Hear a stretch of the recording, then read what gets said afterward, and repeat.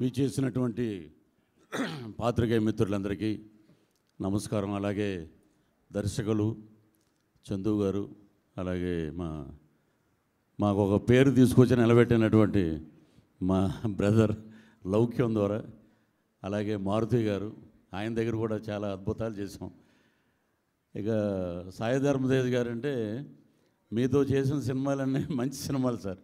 విన్నర్లో కూడా నాకు బాగా సపోర్ట్ చేశారు.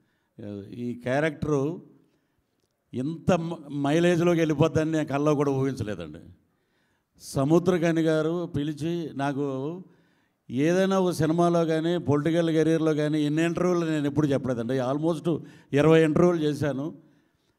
రోరింగ్ లైన్ పక్కన ఫోటో దిగటం ఒక అదృష్టం. అటువంటిది ఆయనతో పాటు మూడు సినిమాలు నేను దూరం చేశాను అత్తారెడ్డి దారేది గబ్బర్ సింగ్ కాటమరాయుడు ఇది నాలుగవది రాగానే మా ఎంత పొలిటికల్ కాంట్రవర్సీ అయిపోయిందంటే ఫస్ట్ ఒక నిమిషం దాని గురించి మాట్లాడతాను.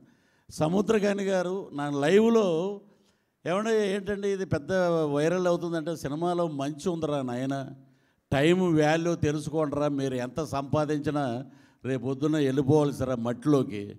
తెలుసుకోండి మానవ సంబంధాలు ఏంటి? టైం లేదని చెప్పకండి అన్నారు. కరెక్ట్గా మా ఇంట్లో వాళ్ళందరూ సినిమాకి వెళ్ళి ఈ బీరువా నిండా నువ్వు అన్ని మంచి డ్రెస్సులు కొన్నావు ఎప్పుడు వేసుకోవు. వెంటనే మొదలెట్టంటే నిన్నటి నుంచి స్టార్ట్ చేశాను నేను టైం ఎప్పుడు ఎవడు వెళ్ళిపోతాడో తెలియదు. లేదని మటుగా అనొద్దని చెప్పి హ్యూమన్ రిలేషన్స్ని అద్భుతంగా చూపించినటువంటి సముద్రకని గారికి హ్యాట్స్ ఆఫ్ సార్ నాకు అవకాశం ఇచ్చారు. అలాగే త్రివిక్రమ్ శ్రీనివాస్ గారికి నేను ఏదో డ్యాన్స్ చేస్తుంటే మాకు కెమెరామ్యాన్ గారిని చూసి నాకు చాలా ఆనందం వేసింది. ఏంటంటే నెంబర్ ఆఫ్ షాట్స్ టీవీల్లో. ఎక్కడ చూసినా శ్యాంబాబు రాంబాబు. ఆయన నన్ను అడిగారు ఏమండి మీకు మంత్రి గారిని మీరు ఇలాగా డిగ్రేడ్ చేయడం అంటే ఎవరండి మంత్రి అంటే అంబటరమ్మ నాకు తెలియదండి అన్న. నాకు తెలియదండి తెలియనోడి గురించి నేను ఎందుకు చేస్తాను? అయినా ఆస్కార్ లెవెల్లో నటుడేం కాదు అతను ఆయన ఇమిటేట్ చేయటానికి నేను. నాకు సముద్రకాని గారు ఏం చెప్పారంటే ఒక పనికి మాలిన వెధవ బాధ్యత లేని వెధవ వాడు ఏంటంటే బారుల్లో పడి తాగుతుంటాడు అమ్మాయిలతో డ్యాన్స్ చేస్తాడు ఇది మీ క్యారెక్టర్ అని చెప్పారు. అది చెప్తే చేయాలండి. ఏదో నేను పీపుల్స్ మీడియాలో మళ్ళీ నాకు చాలా వరకు ఇప్పుడు చెప్పొచ్చో లేదో ప్రొడ్యూసర్ గారికి.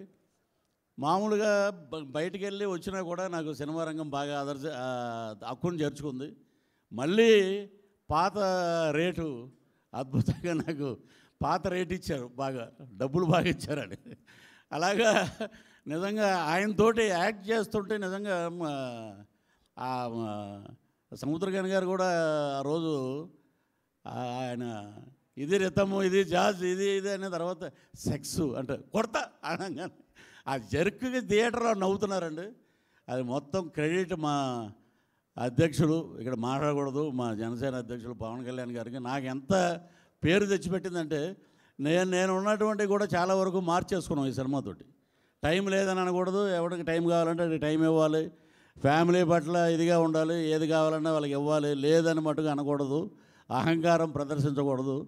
ఇలాగా మా లొకాలిటీలో ఉన్నటువంటి మొత్తం ఫ్యామిలీస్ రిటైర్ అయిపోయిన IAS officers mothers above seventy ఉన్న వాళ్ళు కూడా సినిమాకి వచ్చి అద్భుతమైన సినిమా చూసామయ్యా నిజంగా టైం యొక్క విలువ అద్భుతంగా చూపించారయ్యా.